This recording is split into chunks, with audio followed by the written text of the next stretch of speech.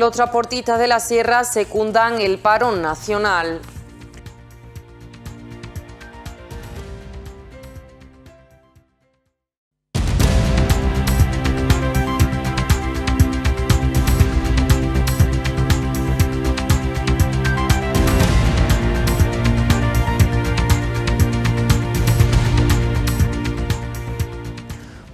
Noches, bienvenidas, bienvenidos un día más a nuestro informativo Más Noticias en Más TV Huelva. En esta noche de martes, día 15 de marzo, además de este primer titular, tenemos otras noticias que contarles. El precio de la luz subirá un 5,6% este miércoles. Sanicher consigue familias de acogida y aportación económica para atraer a niños ucranianos a nuestro territorio. Autoescuelas piden que los conductores que se examinen con coche automático puedan conducir también uno manual. Jabugo celebrará su decimosegunda edición del mayor cocido del mundo. Estos son los titulares del día de hoy. Comenzamos. Antes de ampliarles la información del día de hoy, pasamos a conocer los datos acumulados remitidos al Ministerio de Sanidad por parte de la Consejería de Salud y Familias de la Junta de Andalucía en cuanto a contagios por COVID-19 en nuestra comunidad autónoma. Andalucía suma en estas últimas 24 horas 2.266 nuevos contagios por coronavirus. Asimismo, contabiliza 151 ingresos, seis de ellos en unidades de cuidados intensivos en una jornada en la que hay que lamentar 32 fallecimientos a causa de esta enfermedad. Nos trasladamos ahora hasta nuestra provincia que suma en la última jornada 127 contagios por coronavirus. Igualmente, tras las 10 nuevas hospitalizaciones, la presión hospitalaria se sitúa en 25 hospitalizaciones, una de ellas en, unidad de cuidados intensivos. Jornada negra además en nuestra provincia al decretarse tres fallecimientos a causa de esta enfermedad. Los transportistas están viviendo una situación límite agravada por la subida de los precios de combustible. Por ello manifiestan imposibilidad de seguir prestando servicios a pérdidas. La subida del precio del combustible ha sido la gota que ha colmado la paciencia de los transportistas. Por ello, los camioneros se han echado a la calle para tratar de frenar una situación que se está volviendo insostenible en sus hogares, donde en estos últimos meses hay más pérdidas que ganancias. El parón iniciado desde el día de ayer a nivel nacional continúa hoy con piquetes informativos en Rosal de la Frontera, El Repilado y el cruce de Jabuguillo en Aracena. No podemos repercutir ese gasto de gasoil en nuestros clientes porque no la aceptan y nosotros trabajar a dos euros el litro es inviable. Cuando una cosa es inviable y cuando ya uno pierde el miedo a perder la empresa es cuando más valientes somos. Entonces en este momento lo que estamos intentando hacer es reivindicarnos de que el transporte mueve el mundo y que es el transporte el que da la ganancia al resto de, de, de las personas físicas. Hemos, utilizado estos tres puntos porque son, esto es una arteria principal de entrada de portugueses y españoles hacia Portugal y entendemos que es donde más competencia desleal se puede hacer, porque en todos los sectores hay competencia desleal. Eh, nuestra reivindicación, este segundo, este segundo día, este segundo día, ayer fue informativo, indicamos a todos los compañeros que era informativo y que no se podía circular hoy, porque no se puede circular, porque es para tu bolsillo y para el mío, para el que está comprando ahora mismo en el supermercado y para, para cualquiera que tenga que pagar las demasías en impuestos que tiene este gobierno, bueno, por llamarle gobierno, porque esto es un desgobierno, y que hoy nuestra intención es para todos los transportistas. Es más, llevamos toda la mañana. Asimismo, han animado también a los asalariados a sumarse a estas reivindicaciones, ya que creen que el sector debe estar unido en estos difíciles momentos para muchas familias cuyo sustento depende de este trabajo. A los asalariados les estamos informando de cuál es la situación, que son iguales que nosotros porque van a pagar los mismos impuestos que nosotros al fin y al cabo, que se unan a nosotros que no tengan miedo al empresario que está, haciendo, está haciéndoles trabajar, porque cuando le está haciendo trabajar en una situación así es porque no, no, le, no valora la vida de los trabajadores. Eh, que esto es un piquete pacífico, estos tres piquetes son pacíficos. Y informamos y invitamos a que se den la vuelta, pero hay otros piquetes que no, y hay gente que está sufriendo por culpa de empresarios que están haciendo una competencia desleal en estos momentos. Y no es justo. No es justo, España dejó de ser justa hace muchísimos años. Han insistido además en que se trata de piquetes informativos realizados de forma pacífica y que la única forma de llegar a conseguir lo que pretenden es con el apoyo de todos. Esto no es para mí ni para mis trabajadores que están aquí con nosotros y están de vacaciones cobrando su salario y todo, todo por convenio. Están aquí con nosotros apoyándonos. Esto no es para nosotros, eso, esto es para toda España para toda España y todo aquel camión que se mueva en estos momentos deja mucho que desear y dejará, se quedará retratado para toda la vida. Sin ellos se para todo. Ese es el mensaje que los transportistas quieren dar en estos días para hacer hincapié en la importancia de su labor y en lo esencial que es contar con un sueldo digno. El precio medio de la electricidad en el mercado mayorista retomará las subidas este miércoles y se encarecerá un 5,6% hasta los 263,65 euros el megavatio hora. El precio medio de la luz para este miércoles será 13,99 euros mayor que los 249,66 euros el megavatio hora de hoy. Por tramos horarios, el precio máximo de la luz para este miércoles se dará entre las 8 y las 9 de la mañana, con 306,7 euros el megavatio hora, mientras que el mínimo de 191,54 se registrará entre las 11 y las 12 de la noche. A pesar de la moderación del precio de las últimas jornadas, el precio medio del megavatio por hora en el mercado mayorista en lo que va de marzo se sitúa entre 132,14 euros, es decir, unos 93 euros más que el promedio de diciembre de 2021, el hasta ahora mes más caro de la historia con 239 euros de media. A través de la solidaridad de vecinos y vecinas del territorio, la Asociación Sanichera ha comunicado que esperan que la llegada de un autobús con niños ucranianos sea en poco tiempo una realidad, gracias a las aportaciones económicas realizadas y a las familias que se han ofrecido para acoger en sus hogares a estos pequeños que huyen de la guerra en su país. La Asociación Sanicher de Galaroza, que opera en la comarca de la Sierra para la llegada en verano de pequeños bielorrusos a casas de acogida temporal, está trabajando en una acción de ayuda a Ucrania. Así, tras hacer un llamamiento para recaudar dinero para la llegada de niños ucranianos y encontrar familias para ellos, han comunicado que la solidaridad del territorio ha hecho que consigan tanto familias como el importe económico del viaje. El dinero para el autobús está conseguido doy las gracias a todas las personas que desde 5 euros hasta 1000 euros han dado para esta causa.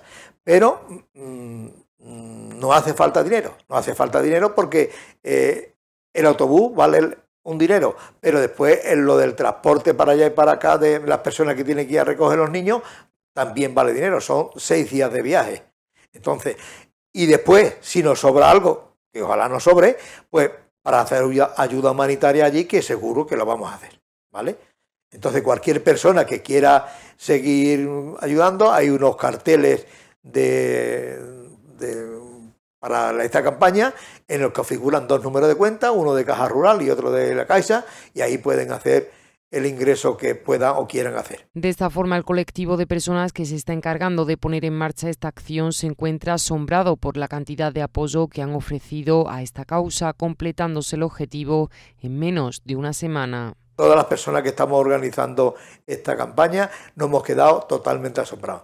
Agradecer a todo el mundo, a todo el mundo, por muy chica que ha sido la cantidad o por muy grande, que ha sido, la verdad, una cosa que no hemos quedado de, de, esa colaboración que tenemos. Desde Sanicher comunican que también podemos seguir colaborando para realizar a partir de donaciones ayuda humanitaria en Ucrania. Asimismo, insisten en que las acciones que se están desarrollando actualmente para ayudar al pueblo de Ucrania no caigan en el olvido una vez pasado el tiempo.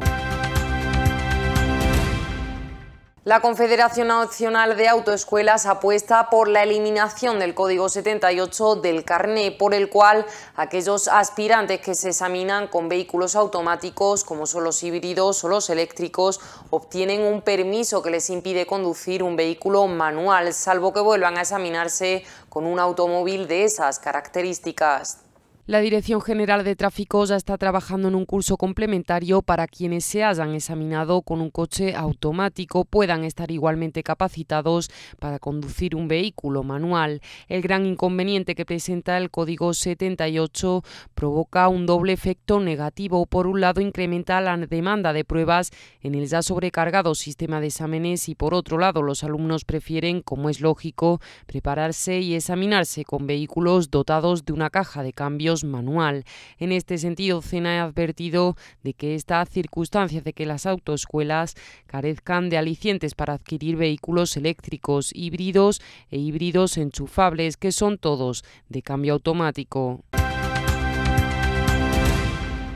Los días 25 y 26 de marzo volverá a Jabugo el mayor cocido del mundo, una cita gastronómica señalada en la localidad donde entre otros productos 600 kilos de garbanzo serán cocinados en una sola olla. Jabugo volverá a celebrar durante los días 25 y 26 de marzo el mayor cocido del mundo, una cita gastronómica singular en el municipio serrano donde todo el pueblo pone su granito de arena. También este año otros municipios de la provincia participarán con sus productos en este cocido con garbanzos de Paterna y Escacena, pan de San Bartolomé de la Torre y vino de Chucena. Se hace cada dos años debido al gran trabajo que hace pues prácticamente todo el pueblo, participa todo el pueblo, las asociaciones, participan los empresarios, participan los jóvenes, los mayores, las mujeres, es una fiesta de todo el pueblo, si no sería imposible organizar un evento de estas características, donde nos visitan pues más de más de 2.500, 3.000 personas todos los años. Debido a la pandemia hubo que suspender del 2020, este convenio ya lo teníamos previsto en 2020 y hemos sido pues eh, pacientes en este sentido, no pudimos celebrar en el 2020 y lo vamos a hacer ahora el 25 y 26 de marzo del 2022. Quiero agradecer la participación de los pueblos de la, los pueblos que van a participar con productos de Huelva dentro de, este cocido, tanto Paterna como Escacena, San Bartolomé, eh, Chucena, a la Diputación y nosotros. El precio de la entrada con fines solidarios será de 8 euros para adultos y 4 euros para pequeños de 4 a 12 años. Además de la degustación del cocido y su pringa, se celebrarán varios pasacalles con música para amenizar las dos jornadas. El fin del cocido es un fin solidario y las entradas son mm, muy baratas, son 8 euros la entrada y, eso quiere decir que todas las personas pueden comer todo el cocido que quieran, pueden comer eh, toda la pringá, como decimos nosotros aquí en Huelva, toda la pringá que quieran y además tiene dos consumiciones gratis con esa entrada.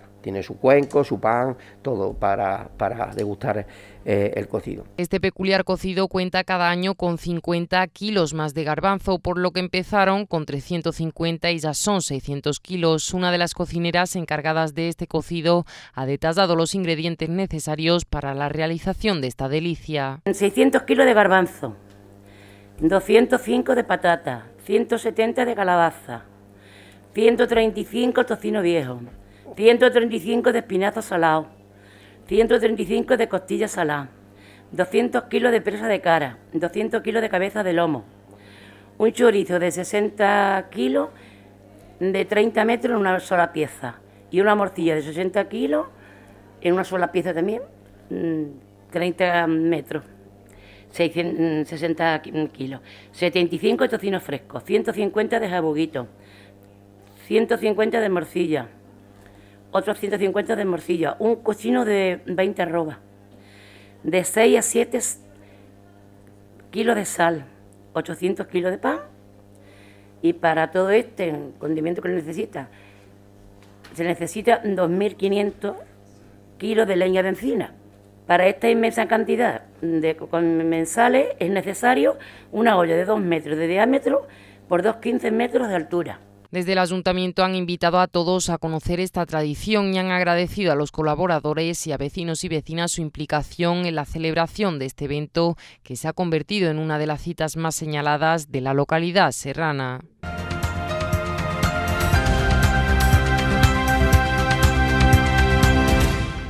Les contamos además las previsiones meteorológicas de cara a esta semana en nuestra provincia. Mañana miércoles contaremos con cielo eh, poco nuboso en zonas como Paimogo y la sierra en Aracena. Tendremos cielos cubiertos, además con lluvias escasas en el centro provincial, con temperaturas que oscilarán entre los 6 grados de mínima y los 16 grados de máxima. Esas mismas temperaturas se mantendrán también, aunque con alguna subida de las temperaturas máximas durante la jornada del jueves, donde ya vemos cielos algo más despejados que en días anteriores. En la jornada del viernes, con temperaturas entre los 6 grados de mínima y los 21 grados de máxima, comenzamos a ver cielos mucho más despejados, sobre todo en la mitad sur de la provincia y cielos poco nubosos en la mitad norte provincial. Con respecto al fin de semana, tanto el sábado como el domingo, el sábado volvemos a tener esos cielos eh, despejados, cielos poco nubosos, algo más nubosos, sobre todo en la jornada del domingo, con temperaturas además durante todo el fin de semana que oscilarán entre los 6, 8 grados de mínima y llegarán hasta los 22 grados de máxima. Con respecto a la próxima semana, el próximo lunes, con temperaturas entre los 7 grados de mínima y los 21 grados de máxima, comenzamos a notar de nuevo cielos cubiertos en toda la provincia, salvo en zonas como Paimogo y Minas de Herrería es otra de las explotaciones andebaleñas que configuran el rico mapa minero de la provincia. Hoy la descubrimos a través de este vídeo de cierre. Hasta mañana.